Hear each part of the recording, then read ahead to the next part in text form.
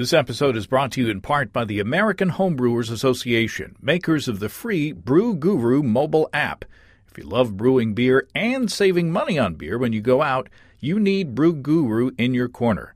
The app offers a searchable database of homebrew recipes, including popular craft beer clones and hundreds of winning recipes from the National Homebrew Competition. What's more, Brew Guru has a map of money saving deals at breweries, beer bars, and homebrew shops. Grab the free Brew Guru app for iPhone and Android devices and follow the path to good beer.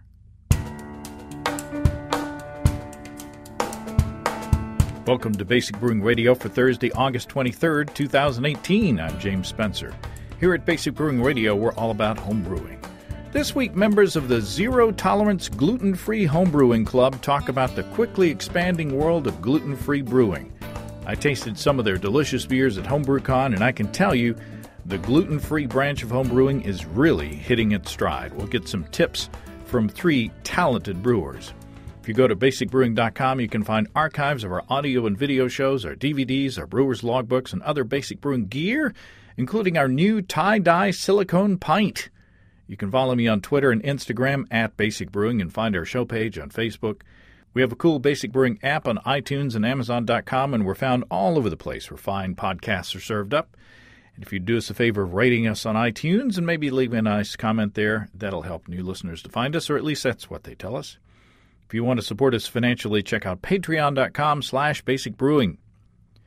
This past Monday, financial subscribers got an early release of the next Basic Brewing video – and a behind the scenes video with me and my son Drew as we brewed a hoppy amberish beer together. We had a lot of fun, and the beer turned out very well, in my opinion. Uh, the general public will see that episode this coming Monday. And thanks to everybody who's uh, contributing financially. The recipe also went out to uh, financial subscribers, too. Let's take a look into the mailbag. Mark from Bellevue, Washington writes after hearing the sake beer hybrid episode with Kevin McAvoy. Mark says, First, I was inspired by your Bob Taylor podcast, uh, that was from many years ago, to make sake over the past winter. By the way, that podcast should be in your top 10 and was the inspiration for me to make sake. The sake turned out decent, and I will try again this coming winter. Hint for your listeners that are turned off by the need to put your arm in and physically mix the rice grains by hand. There's a thing known as an electric drill with a degasser attachment or paint mixer. uh, I know traditional sake makers don't use a power drill, but it worked for me, and I used to live in Japan, so I know what sake should taste like. Thank, thank, thanks, Mark. Second, I made a moto starter with the Wyeast sake yeast and used it as a base for an Anchor steam beer knockoff with Northern Brewer yeast. Undrinkable, Mark says. After six months in the bottle and very well chilled, I can down a couple of sips. so hats off to Kevin McAvoy for getting a good brew out of it. Third, Mark says, my local homebrew shop guy said that he carried the Wyeast sake yeast for a customer that swore by it for cider. Story being the guy had accidentally smacked the wrong pack in the store, had to buy it, but decided to make cider out of sake yeast and it turned out great. Mark says I've used the sake yeast a couple of times for a sizer and it's been pretty good. Warning that it has a taste that I can only describe as puke for about a month, then it disappears. you have to really have to be patient to stick around with puke for a month. Uh, Mark says I typically use Nottingham for a simple sizer, four gallons with five pounds of Costco honey and two gallons Costco apple juice. And the sake yeast is different, but also comes out as good. Also, the sake Nottingham combination was also tasty.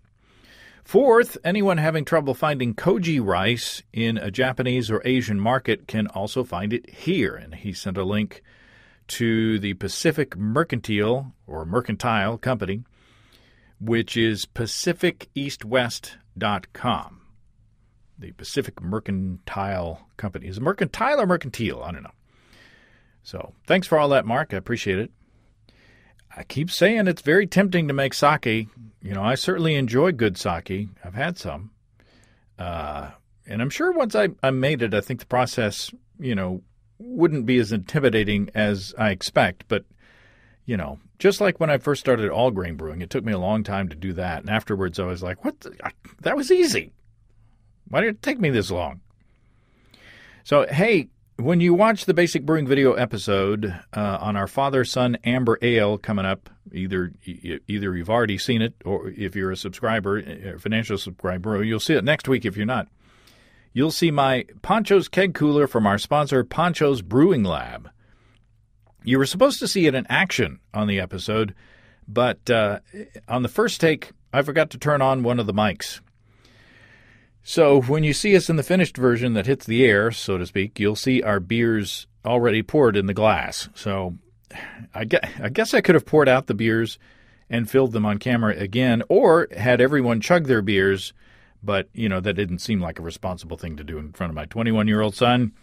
And uh, uh, Steve's 21 year old, or, or Chase is what 22 or 23.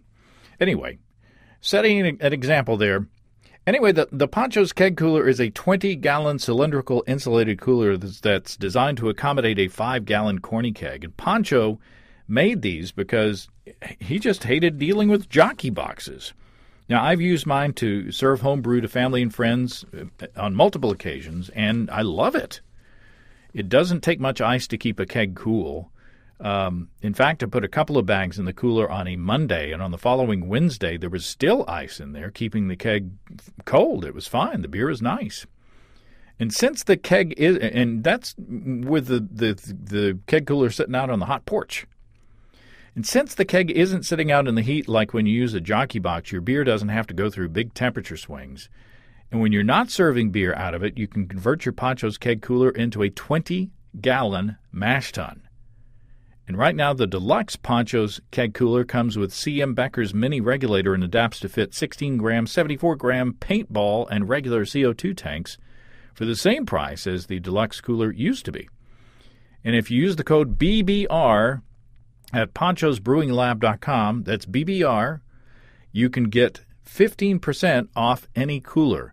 So head on over to panchosbrewinglab.com. That's P A N C H O S brewinglab.com and pick out your own Pancho's Keg Cooler. Promo code BBR. By the way, uh, Steve's son Chase liked my keg cooler so much he picked one up himself. So there you go. Seeing is believing. I have ingredients for my next uh, homebrew. I'm going to attempt a brut pale ale or maybe an IPA. I'm I'm gonna I'm gonna see how it turns out uh, to figure out what I'm going to call it. I have the uh, necessary enzyme, and my plan is to uh, start with a 30 minute mash at 140 degrees Fahrenheit or 60 C, and then raise it to 150 degrees Fahrenheit or 65 C for an hour after that. And my goal, of course, is to break down the starches in the mash to be very fermentable and really dry out the beer to get that brut style. I've never worked with an enzyme like this, and it reminds me of some of the gluten free strategies that uh, we'll talk about in this week's show. I've mostly two row with a little bit of Vienna malt added in the grain bill for fun. I'm hopping with all Cascades, and uh, I'm planning to dry hop as well. So uh, I hope that this one will come out delicious and drinkable, and I predict a good beer to watch football with, or to sit outside in the cool weather that I hope is coming soon on the patio.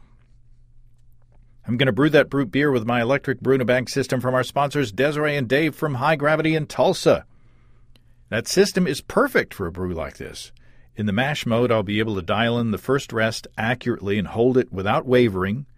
And then with the twist of a knob, I'll be able to raise to the second rest and not have to worry about overshooting it. Uh, you know, in the past, when I did step mashes in my mash tun, I'd have to calculate the amount of boiling water to add to the mash to bring the temperature up to where I wanted it. Then I'd have to pour boiling water into the mash tun to actually do that. Not only clumsy, but dangerous. But with this new system, the electric system from high gravity, uh, after I complete my mash, I'll just switch the high gravity Warthog controller over to the boil mode and set the power level to the level of boil vigor that I want. What could be more easy than that? High Gravity not only has brew in a bag systems, they have two and three vessel systems too, all the way from five gallons to two barrels. You can see demonstrations of their systems and controllers at highgravitybrew.com or their YouTube channel at youtube.com slash highgravitybrew. Oh, and before I forget, Desiree and Dave were featured on Forbes.com, talking a lot about their background in IT and how it translates into running their business. I posted a link to that article on our Facebook page. Very cool. Um, check out all the great stuff at family owned and operated highgravitybrew.com and use the promo code EBC75BB to save 75 bucks off your electric brewing purchase. EBC75BB at highgravitybrew.com. Getting choked up talking about it. okay, let's talk to Joe Morris, Ed Golden, and Bob Keifer of the Zero Tolerance Gluten Free Homebrewing Club. I'm here with members of the Zero Tolerance Gluten Free Homebrewing Club. Here uh, we have Ed Golden. Hello. Bob Keifer. How's it going? And Joe Morris. Hey, good afternoon. Welcome, guys. Uh, I I was lucky to come across you guys at the at the homebrew conference. We've talked about gluten free brewing here a couple of times, but it's been a while, and the way technology uh, and methodology evolve in this hobby, I'm sure lots of things have changed. And I wanted to have you on because uh, you guys just happened to be at the hospitality suite, or or whatever they call it uh, nowadays, uh, serving your beers, and I I think I sampled all of them because they were so good. Uh, and if you had served me those beers without telling me that they were gluten free, I would not have known. Uh, and there were various styles, which we can get into later on. So, first of all, I guess, Joe, do you want to talk about the, the background of the club and how you guys got together? I was diagnosed with celiac about a year ago, um, and I had been a dedicated all grain um, brewer for seven years before that. Uh, very active in my club um, at that time, PDX Brewers, and I'm still a member of that club. They're great guys. Um, and I was in that club and um, still attending and brewing gluten free now. And one of the things that I found that was missing from my my home brewing experience was that I could no longer participate in the club in a in a full manner. I could share my beers with them, and they could give me some feedback. The feedback was always like, you know, it's a clean fermentation. I'm tasting some things here. I don't know what I would change with ingredients because I don't know what you use. And then on the other end, I couldn't drink any of their beers at all. Um, I could drink occasional ciders from the guys or a mead that was brought in, but I couldn't drink any of their beers, and it was something that I really missed. So I started thinking about it, and I said, well, what if I started a dedicated gluten-free homebrew club where we met someplace, and we're lucky. I live in Portland, and there's there's dedicated gluten-free breweries left and right, and Ground being the biggest here in town, I approached them and I said, if I started a gluten-free homebrew club, could we meet here? And they were very excited. They were very, very receptive to the idea. They got behind it and helped me um, push it out there. And I kind of thought it was just going to be me and one of those guys waiting for people to show up. In the first meeting, we had a dozen people. Wow. And started a Facebook page, and I'll say, I think when we spoke with you um, at HomebrewCon, I was quoting a number of 170, 172 members. And quick check right here, I'm going to say we are over 230 members now, just since HomebrewCon. So um, there were people looking for this. They were looking for a place to go and kind of talk about gluten-free brewing because we all you'll find in talking with us that we all have approach and you know there's a lot of uh, history there with gluten-free brewing so we're all trying to figure it out. Um, and it's been a great um, success to me really. I was surprised at how it's taken off. Uh, i thought that i was going to go to homebrewcon it would be me sitting on a cooler with a picnic tap but i found out that um, bob was going to be going and giving a seminar uh, and I found out uh, I met Ed through the club. He walked in with a backpack full of perfect beers that he's been keeping to himself the whole time, and um, you know these guys. We all got together at HomebrewCon. We represented the club. We printed up some flyers. We put up a little sign. We brought some jockey boxes.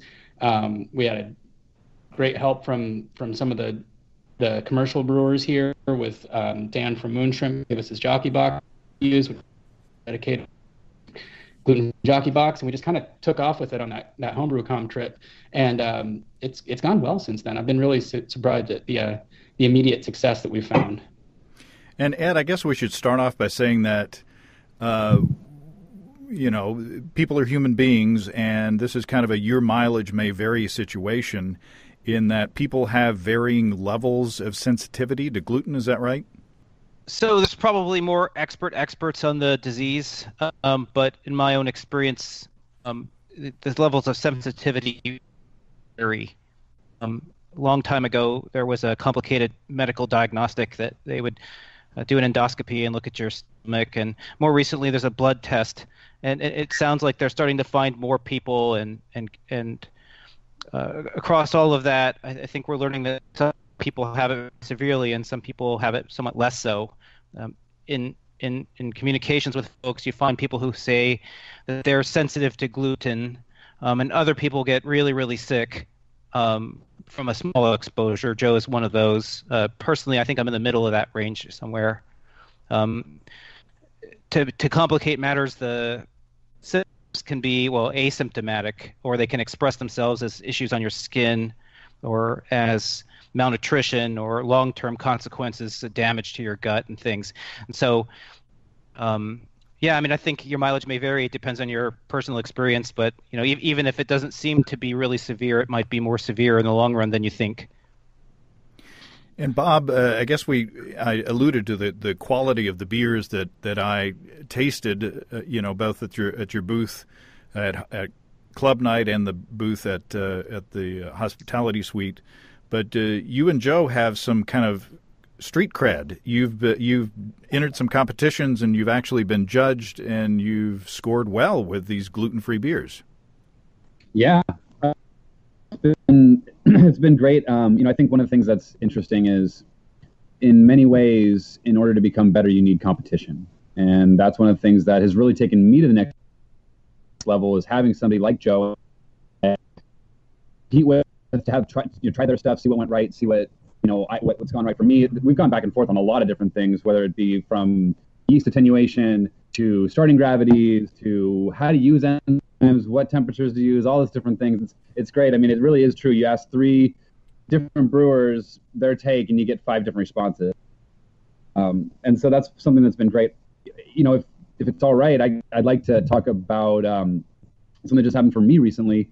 Um, I am really close with the brewers at Ghost Fish Brewery uh, in Seattle, Washington. And my second place uh, beer that I, I, I, took second place in the Groundbreaker competition to Joe, who took first in that. Um, my recipe, though, they picked it up and they submitted it for their uh, GABF Pro Am entry.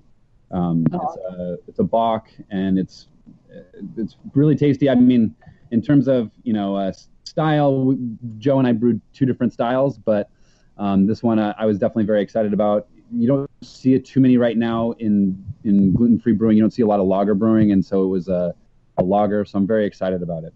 Excellent, congratulations. Yeah, thanks. So, so Joe, are there are there styles that lend themselves better to gluten free brewing than others? If you're brewing um, all grain millet buckwheat beers, I think that you can finding pretty much get away with approximating any style. Um, I know that Ed brought a really fantastic um, Helles to HomebrewCon that I was really impressed with. A little harder to get the darker beers because those those grains don't darken up quite as well. I've had success with red ales and the hoppy beers or hoppy beers. Um, I've scored. I, I think I said I scored like a what was it a 38 at NHC with an IPA. Um, and I just entered it straight into IPA. Scored 36 with an amber ale. So these beers, I think that if you're brewing the all grain ones, you're gonna you're gonna get away with any style. With the sorghum beers, um, fruity hopped beers tend to be something that can kind of mask or even play up that sorghum flavor. Um, or sour beers as well. I've done some some grapefruit sours where you wouldn't notice that sorghummy taste. The sorghum taste is a, a twangy, medicinal, almost metallic flavor that comes through. Um, and when you brew with sorghum, you spend most of your time kind of fighting that flavor. Um, but you can do good dark beers. I mean, that dark ale from Groundbreaker has won numerous gold medals, uh, and it's a sorghum-based beer that they that they flavor with chestnuts and roasted lentils, and it's fantastic. It tastes dead on with a a lot of dark ales. So, you know, it there's there's certain styles that do lend itself better, but when, I think when you're doing the the all grain gluten free brewing, you can get away with pretty much anything. But you can do uh, you can do extract brewing as well. I mean, is, is that where people maybe should start, or should they uh, should they go into all grain immediately? And if they're if they're interested in trying extracts, what's out there? The the extracts that are out there are going to be sorghum and, uh, and brown rice syrup. Um, and that can be found at just about any local homebrew store. So if that's where you're going to start, I mean, it does have wide uh, distribution. It's pretty available. It's pretty easy to work with, um, and you can do some you can do some um, flavoring it up with things like lentils or, or toasting some buckwheat or something like that in your kitchen. Um, and it, it is uh, significantly more difficult to brew all grain than it is extract. Um, you know, just like it is with with traditional brewing, but there's an added complexity when you're doing it with um, the gluten-free grains because they don't necessarily want to be beer. Uh, you have to coax it out of them. You might do that with enzymes. You might do that with complicated uh, step mash routines. Um, but if I would, you know, we joke a little bit that, that gluten-free brewing is four times as expensive and twice as hard. Um, so it, it is harder than than traditional all grain brewing, but um, I think that you reap the benefits from it. Um, but yeah, start extract I certainly did. I brewed, you know, a few months worth of extract beers just trying to get the feel for it. And I was I was getting some um, gluten-free malts to flavor them up before I just went, you know, both both feet into the pool with with all grain. So I know these guys. I don't know what their experience was. Yeah, you guys. Ed, what was your experience? I started out uh, kind of independently. Um, benefited from a lot of prior work. There's a there's a great body of discussion on, on blogs like um, Homebrew Talk and others. Um, people have gone before us, figuring a lot of things. Um, I wasn't a regular brewer when I started, um, so I pursued the, uh, the advice of others and, and actually started with home home malting of, of chicken feed. So I, have I've gone way down the, the, the far out path there, doing it the hard way home malting of chicken feed. Yeah, so you can buy millet uh, from feed stores. I don't think it's necessarily intended for people, but uh, yeah, there's instructions online uh, and from other sources. Uh, uh, I think I got it from a, a, tutorial produced by an Australian named Andrew Lavery, and uh, there's others because in, across Africa they they make different alcoholic drinks with millet um, that talk about various approaches to, to malting it. But yeah, you know, because you, you can't. When I started, it was around 2014, and and I wasn't aware of or wasn't able to uh, get at that point very easily um, commercially prepared millet. If it was available, I didn't know about it. And and Bob, uh, has the range of ingredients uh, available to you guys uh, expanded recently? And and I, I, was talking to one of you guys at the thing about uh, being able to get malted rice. Uh, yeah. Is that a misremembrance or is that uh, is that right? In terms of yeah, when I came on the scene, I I'm a, I guess I'm I'm before Joe, but after Ed. I guess in the in downstream there. Um, but yeah, so one of the things that I noticed first was obviously the fact that sorghum was super easily available. Same with brown rice, and so those were what really went into the bulk of my first three four recipes. And then I had a friend who he always actually he's like, you know, man, I like your beers and all, but there's there's something. He's like, and, and I did some work for you. I actually looked up this website and I found this glutenfreehomebrewing.org website. You should go and check it out. And I spent like probably like 250 bucks on my first go because I was like, oh my god, they've got French roast. Oh my god, they've got chocolate roast. Oh my god, they got they have dark roast. Like every single thing you can imagine now is malted. It's available in millet, buckwheat, and rice uh, and it's just impressive. I, you know, the I think it's I think their names are Alyssa and Brian over at Gluten Free Homebrewing. They're two of my favorite people on the planet nowadays, and um, they've been instrumental. I mean, they, they really do a lot. Of bring all these different maltsters together because Eckert malt, uh, malting uh, is uh, out of Chico. They, they they make the malted rice that gluten free homebrewing uses. Uh, uh, Twila Soles out of um, Grouse Malting and Roasting in, in Col- Colorado is also uh, someone who makes a millet and buckwheat for that website. But then there's also new malt houses coming coming through. I mean, I've been in a couple different breweries now where you see, uh, you know, new Colorado malts uh, coming in for like specific like you know Cara, Cara Red, C20, C, Crystal 40, like all these specific new different types of millets. Uh, it's it's incredibly impressive. So, Joe, you said it's it's uh, twice as difficult and four times as expensive. You know, we've we've talked about a, an, an, experiment here on the show, and and I and I've talked to uh, professional brewers and home brewers who have used Clarity Ferm to mm-hmm. take normally brewed beers and take the gluten out or at least uh, enough to where you know a lot of uh, people who have gluten intolerances can actually drink the beer and not have a problem with it. Why go to all the trouble and expense when you can just buy this Clarity Ferm and fix normal beers? So I would I would probably turn that one around and say, uh, if you can make beers that are scoring mid to high 30s in NHC that are tricking palates like James um, like your own, why would you go through the effort of drinking something that's potentially going to have some gluten in it if you have a medical condition? So I, I and the others in the group do have a medical condition that prevents us from from consuming gluten. Um, gluten reduced beers do have some gluten. They do a good job of passing one test. Uh, we've learned about some other tests out there that they're not doing such a great job of passing. And then the ultimate test is your own health. I might be able to get away with consuming commercial gluten reduced beers without a reaction. I don't know. I've never tried it. But I will tell you that in the process of cleaning my garage of all the barley dust that was in it, I was getting sick left and right. And there's just no way that as or I could handle 50 pound sacks of barley without inhaling it, getting it in my mouth, getting it on my hands, getting it in my gear, and consuming it, you know, um, and getting myself to have a reaction. And it's just not worth it to me. Also, my son is 10 years old. He has celiac disease, and we just keep a gluten free house. There's no way that we're going to bring it into the home. Uh, Can I add something to that too, James? Sure. So this is Bob here. Um, the way that somebody put it to me recently, um, it wasn't wasn't Joe Red. It was somebody else actually that walked up to me and talked to me about it. It was like, you know, if if I handed if you had a peanut allergy and I handed you a handful of peanuts and I told you that I put a chemical on them that made them not so peanutty, would you still eat it?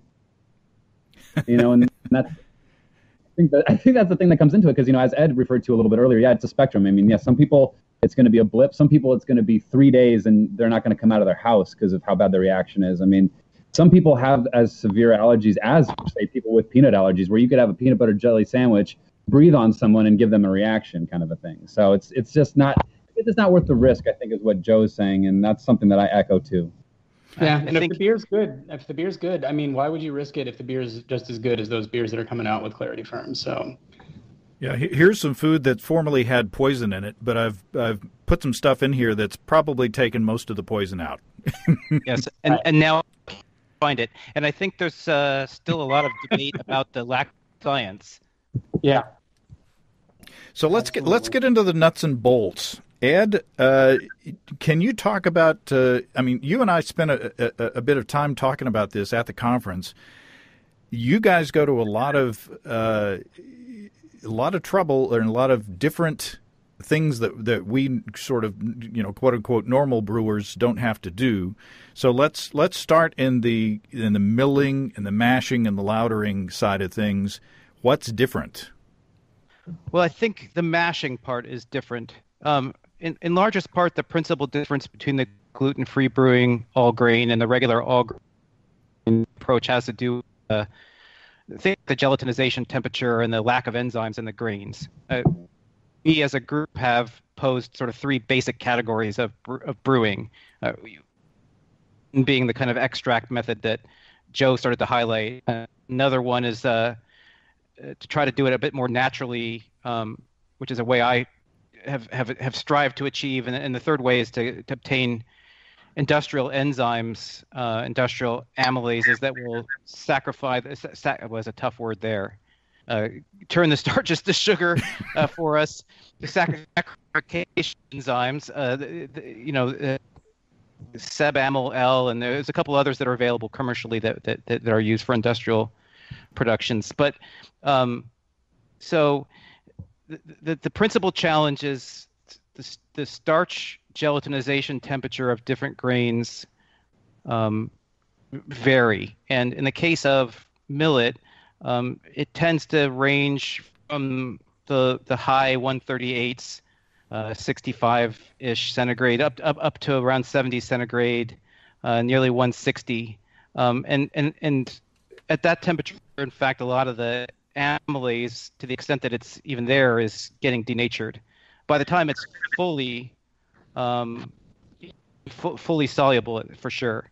So um, to make up for that amylase, which is either not present or, or destroyed in that process of getting all of the starches soluble, um, is, is the principal challenge there.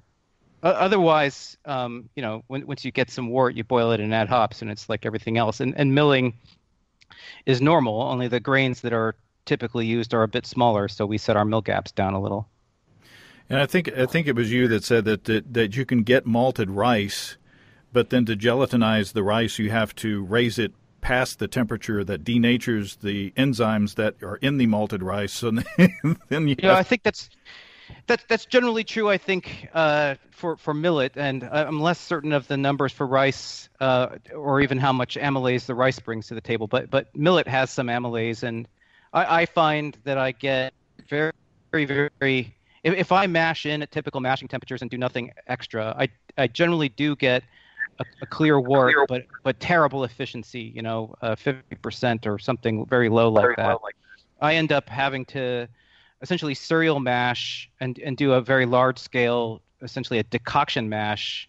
Uh, call it a decantation mash because I pull all the clear liquid I can off of it uh, and then heat the, the, the cereal until it's gelatinized and then recombine it so I can recover whatever amylase is in that liquid. Um, if I do that, I get 80% efficiency. Mm. But that extra step is, is complicated and potentially messy um, and adds about a half hour to an hour to my brew day. But other than that, I think um, it's pretty normal experience. It just takes a bit longer and is a bit more trouble. Bob, can you talk about your experiences? Yeah, so I mean, on the all grain side, for me, um, and you know, maybe this was just because of some early success that I had with buckwheat.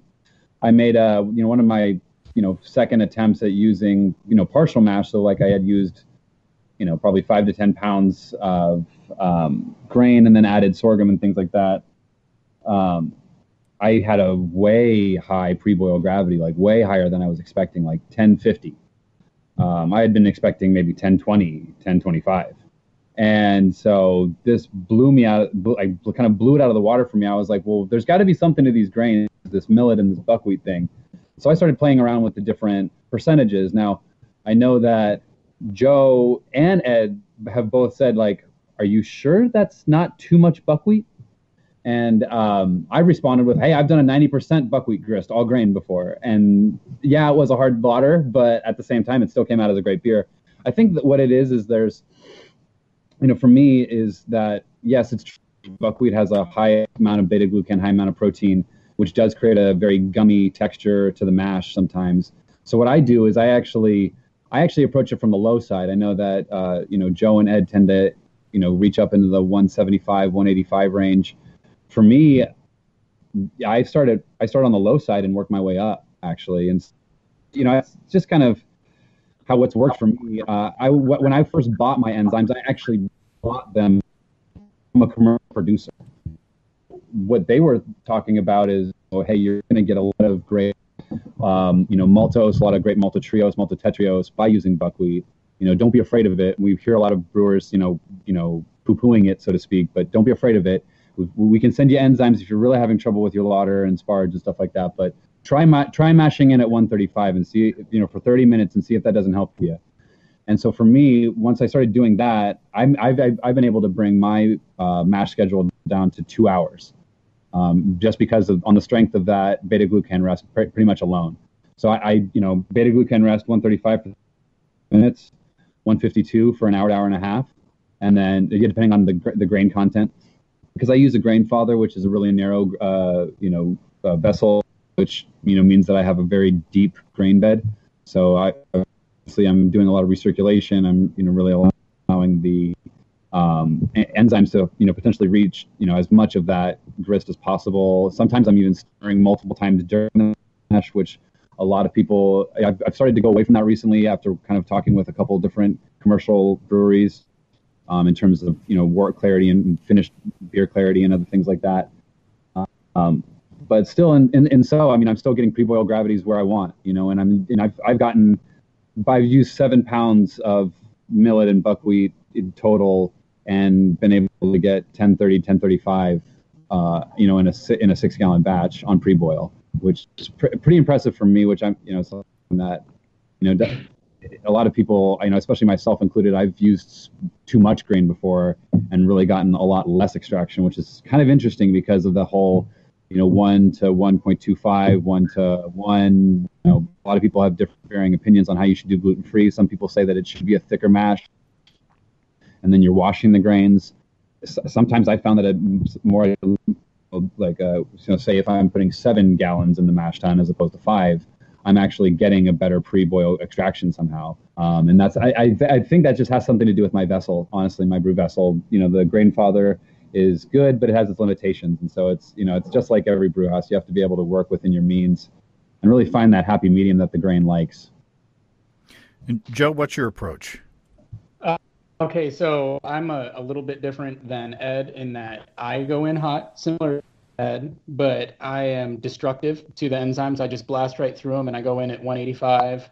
Um, and then that's how I get my soluble, um, my gelatinization happening there, and get all those starches soluble. And I will add um, a distiller's uh, called Termamyl that's stable at that temperature. It's stable up to and beyond boiling. Um, and I will I will use that enzyme at 185 for say 30 minutes or so and start to recirculate things there before I add some cool water and bring it down to somewhere between 155, 165, depending on what I'm brewing. And I'll add um, some some enzyme that's stable at that temperature for saccharification, and I'll ride that out for say 90 minutes, just just to be sure that I'm getting all of the conversion that I need, and I'll recirculate for 15, 20 minutes uh, at the end of that mash, and I'll, i saw the clearest wort I've ever seen come out of a gluten-free beer. This is something I just started trying. I've played with a bunch of different ways, and I've had mixed results. I've had 55% efficiency, and then it got up to 65, and then I got up to 85, and then this last beer I brewed, it was in the 90s, and I was adding water to try and bring the gravity down, so I didn't completely overshoot things. Um, but I think that that's where I'm going to settle right now, uh, at least for now, because it worked for me really well, and I was impressed with with the uh, work there. And that was on a recommendation from some folks at um, Homebrew Talk in the gluten free forum. There, they they set me straight on something that I was doing wrong, adding that Termamyl at the wrong temperature. And once I added it that 185 temperature, which is where it thrives, it just took off for me. So it's a little bit different. Um, Ed calls it cheating because he doesn't like to add industrial enzymes. He likes to do it au natural. Um, he uses what's uh, recommended by Andrew Lavery, who wrote in 2006 some groundbreaking type of tutorials on how to brew gluten free and how to ma- how to how to um, uh, somebody just rang my doorbell. How to um, how to mash, how to malt, all of those things. And we actually have a Q and A on the Zero Tolerance uh, Brewing.com blog with him. We looked him up. We found him. We found him all the way in Australia, and we we grilled him for a little while. Do you need to answer the door? I'm going to answer the door. It's probably the neighbor looking for my son. In the meantime, I'll offer that, in my experience, you know, these gluten-free grains they do have the the amylase enzymes that you would need to cause the starches to turn to sugar. I'm not, I'm not sure that they have the same profile that barley does, um, but you can get. I mean, because as I was mentioning, you know, home malting didn't trust the quality of my malts, you know so so i go through the traditional three steps and and all the rest um, but i can get by uh, with a with a clear beer that appears to pass the iodine test without adding any enzyme hmm. um, but I, I, would comment that um, i find that my beers tend to finish very high Um, and i have been seeking an explanation for that. Um, you may find that when you add these kinds of enzymes, as, as uh, Bob, I think, mentioned uh, in a different interview, they, they tend to finish very dry. So um, there is some uncertainty and some things for us to work out um, about uh, how, how to get uh, all these different aspects of the mash to, to, to work well so we can we can hit finishing gravities where we want them to be, whether that's very dry or um, very full bodied. And I think these different approaches we're talking about are different attempts that all of us are evolving in the part of trying to figure that out. Uh, one last editorial comment I'll make about that. You know, I, don't think the gluten-free hobby is quite as well developed as the the broader barley brewing is. So you find that there's a, a great deal more varied opinions on approaches and experimentation going on um, in this community, which is something about it that I really like. Yeah, you guys are writing the book as you go along. Well, we're certainly making it up. As I alluded to before, I had a wide variety of, of beers, uh, you know, through through your booths, uh, including uh, you know beers that you wouldn't think would be you know nice and and malty and uh, and delicious. Like there was a there was a Hefeweizen that tasted like a Hefeweizen. There was a Helles that tasted like a Helles. Uh, and then there were hoppy beers that tasted, you know, like norm the normal barley uh, hoppy beers. Uh, do you guys want to pick uh, like a a recipe uh, and kind of you know guide us through the recipe formulation and give us an idea of what goes into making a good uh, gluten free beer? Who who wants to start? Joe, you want to start? Um, well, I'll let you take a pick here. You you want to go red ale? You want to go IPA? Those are my two favorites. Which is the more difficult? Okay, so the red ale has ridiculous amount of grains that I get to rattle off. So people like lists of things. I'll give you one of those. Um, so I brewed this beer called Dad's Red Ale because my dad likes red ales, and he comes to visit me often, and I would always brew him um, this red ale that I kind of derived from Jamil Zainasheff's um, two red ales he has in brewing classic styles. And then when I got celiac, I tried it once with sorghum, and he said, "Yeah, it's good, but it's not quite the same as what you used to brew for me before you got diagnosed." So I, I took that as a personal challenge because he actually bought me my first homebrew kit. So I was like, I got to pay this guy back somehow. So he was coming out it was a pretty special trip, and I was going to him Dad's Red Ale. And this is a beer that's won the Groundbreaker um, gluten free, the Pacific Northwest Gluten Free Homebrew Club competition, the first annual. And you'll be seeing that on shelves eventually from from Groundbreaker. Um, and this is the recipe for it. All right, so this beer uh, is an American Amber Ale. It's a little bit more to the malty side and the hoppy side. We're we're looking to to accentuate these great malts. Uh, so it's 10 pounds of pale millet malt, uh, one and a half pounds of Munich millet malt, uh, half a pound of buckwheat malt, and that's there for head retention and a little bit of spicy character. I don't know if you'll get that off half, half a pound though. Uh, three quarters of a pound of Crystal 10 millet malt, uh, one pound of roasted caramel malt, and this is the flavor that really carries this beer. That roasted caramel has a toffee type of flavor to it. Uh, is missing from a lot of gluten-free um, caramel malts. None of our caramel malts are in that like 80 or 120 L color, but the flavors are there in this, and it, it comes in at about 30 or 40 Lovibond. Um, and then I've got um, three quarters of a pound of biscuit rice three quarters of a pound of James's brown rice, which is a fun one to say. And that tastes to me a little bit like Special B, uh, even though it's only 22L. It's got that plummy, pruny thing that I was looking for in this beer. Uh, and then there's a little bit of American crystal rice, which comes in at about 16 love, but tastes darker than that somehow. And then for color, I add um, one quarter of a pound of chocolate millet, which is 200 Lovibond and all those flavors come together. I know it's a ridiculous number of character malts, but they all come together to make a, a pretty ruby red ale that's got a good, deep, plummy stone fruit type of flavor to it. And then I just blast it with some pretty traditional hops, not too hard though. Um, uh, for bittering, this can be a bit of a challenge, but I would say do 15 IBUs of whatever your favorite is. I I use uh, CO2 extract because this beer is all these beers are expensive to brew, and I don't want to lose any volume to bittering hops. So I use just a little bit of of CO2 extract to try and get about 15 to 20 IBUs.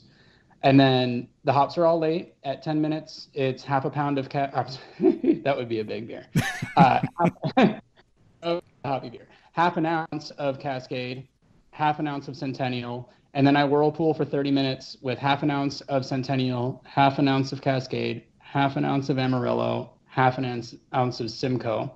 And I ferment it with whatever yeast you're comfortable with, as long as it's clean. It's nothing Belgian or anything like that. But you can use British yeast, you can use American yeast, and um, it's a it's a delicious beer. It comes in at like six and a half percent alcohol typically. You know, 1063 starting gravity, 1012 final gravity, um, and I, I, like that beer. I've been I have it on draft right now.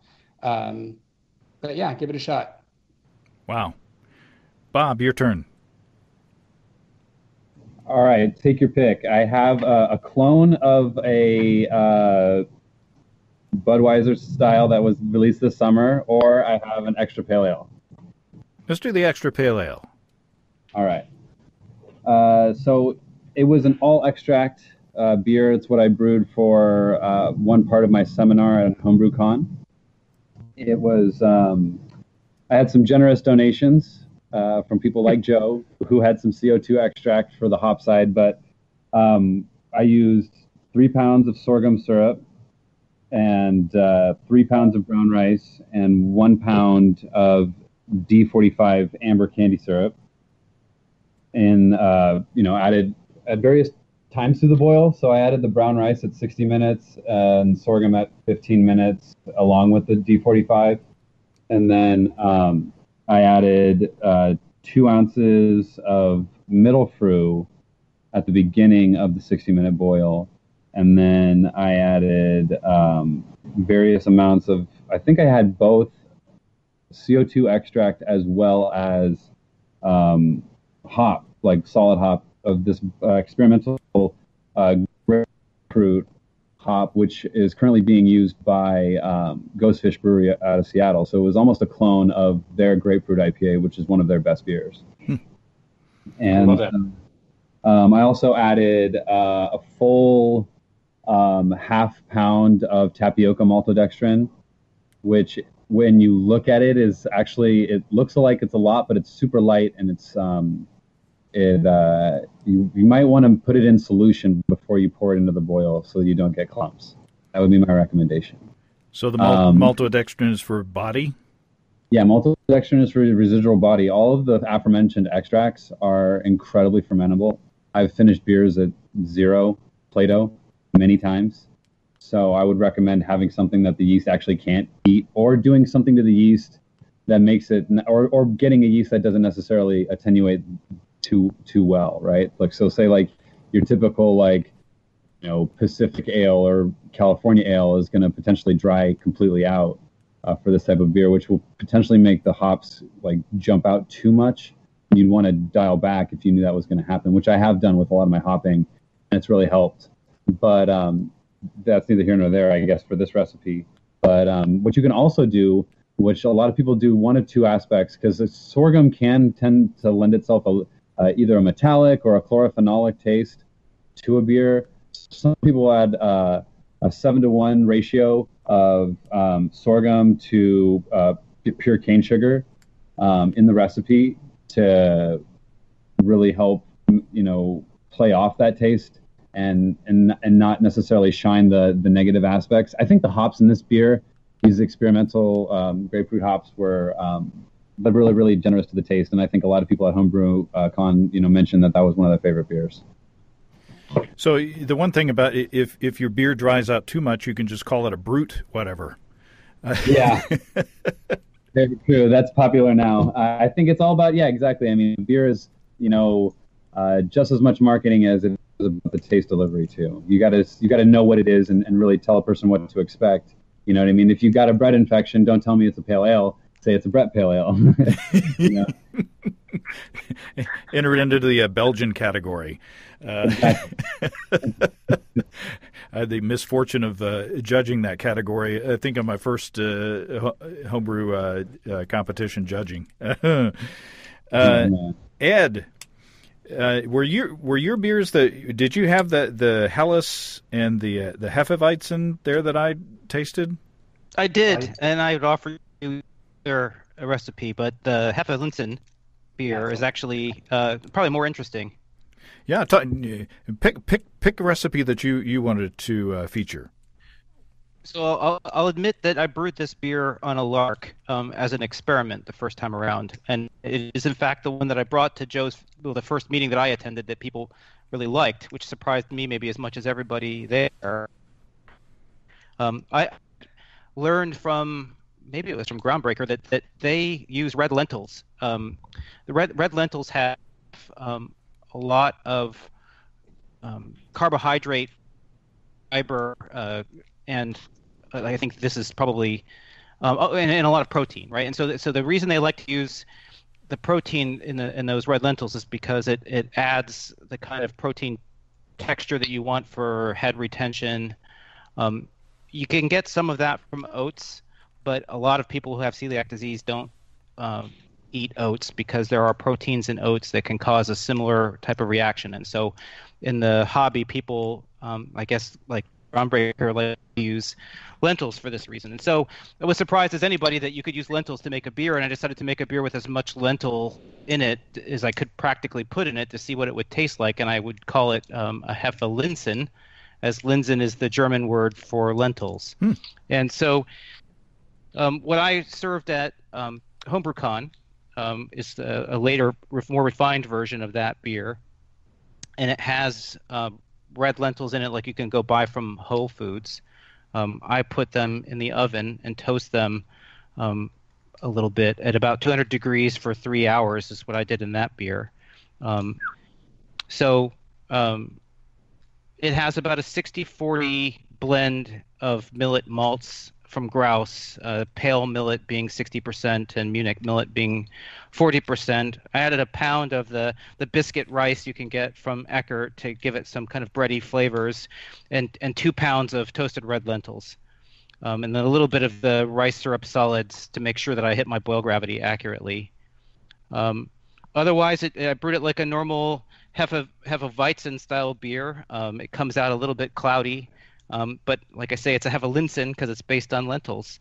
The advice I might give in that case is that the red lentils tend to, to be very foamy and very thick and can cause your sparge to stick. Um, so I add really at least a pound of rice hulls to such mashes to make sure that it runs cleanly. Wow. Yeah, I, ne- I never thought I'd uh, have a beer that was made out of lentils, but it was delicious. Um, it's a great beer. Yeah, the the the Hefeweizen that, like I say, the Hefeweizen that I had tasted like a Hefeweizen, and the Helles was just malty and and and delicious, and you know the the the hoppy beers that I had from you guys were just you know amazing as well. So, you know they they stood on on a firm foundation of being good beers first, um, but then you know they had the added benefit of of uh, you know of, of fitting into the zero tolerance philosophy. And I guess uh, it, should, do does do one of you guys want to clarify the name Zero Tolerance Homebrew Club? I did that just to differentiate us from the fact that we don't accept any barley beers whatsoever. No barley, no rye. We have zero tolerance for it, and that goes down to the yeast. We primarily use dry yeasts, although I mean, some people are washing liquid yeasts, but no direct pitch, anything like that. Just we try and keep zero ppm on on gluten going into our beers. There's zero tolerance for gluten in our beers, and that was the that was the inspiration there. And we've run into name trouble in the last three to four months, but we're sticking with it, and we're gonna we're gonna hope that somebody else changes, not us.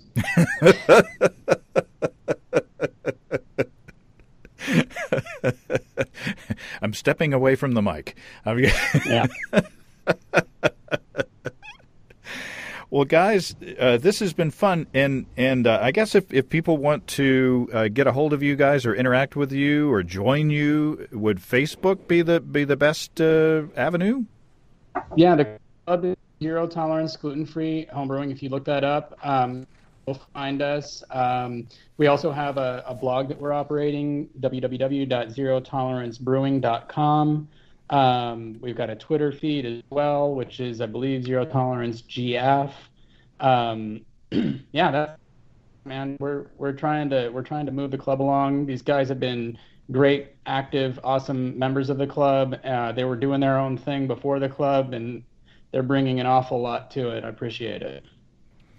Well, guys, I, I certainly appreciate all the uh, all the information and all the inspiration uh, and uh, I hope that you guys keep experimenting because you know if each of you, each of the member of your of your ever expanding group ex- experiments and finds new ways to do things, you know your your knowledge base is going to grow exponentially. All right. Thank you. Well, thank you very much. Well, Ed and Bob and Joe, it was great to talk to you again, and I hope that uh, we cross paths again in the future, and I get to drink more of your beer. Well, we really appreciate your radio show. I've been listening to it for quite some time now, and and uh, I'm privileged to be a part of it. You know, I'm so glad you came by. I really appreciate the support that you've shown the club, and uh, you've just been awesome with us. I really appreciate it. Thank you for having us on. Yeah. Thanks awesome. so much, Jane. Awesome. Thanks again to Joe, Bob, and Ed. I joined their zero tolerance group on Facebook. Uh, if you're interested in brewing gluten free for yourself or somebody you care about, I recommend that you look them up. Great stuff there. If you have brewing questions, show suggestions, or just want to say howdy, write to james at basicbrewing.com or just fill out the contact form on basicbrewing.com. And please don't forget to tell us where you're from. Thanks to everybody supporting us through our Patreon page. Special goodies always coming your way. Check that out at patreon.com slash basicbrewing. Be sure to check out our DVDs, Extract Brewing, Partial Mashing, Stepping into All Grain, low-tech lagering and decoction mashing and introduction to wine kits. You can find them all on our site. Get a free Basic Brewing bottle opener with any DVD combo, and you can check out our Basic Brewing shirts in the store too. You can find our logbooks where you can track and log up to 50 batches of beer. Check out all that uh, at uh, basicbrewingshop.com. Also, take a look at our silicone pints. That's all until next time. Until then, thanks for listening, everybody. I'm James Spencer. Production help for Basic Brewing Radio and our website is provided by Kelly Dotson. Basic Brewing Radio is a production of Active Voicing. We'll talk to you next time, everybody. So long.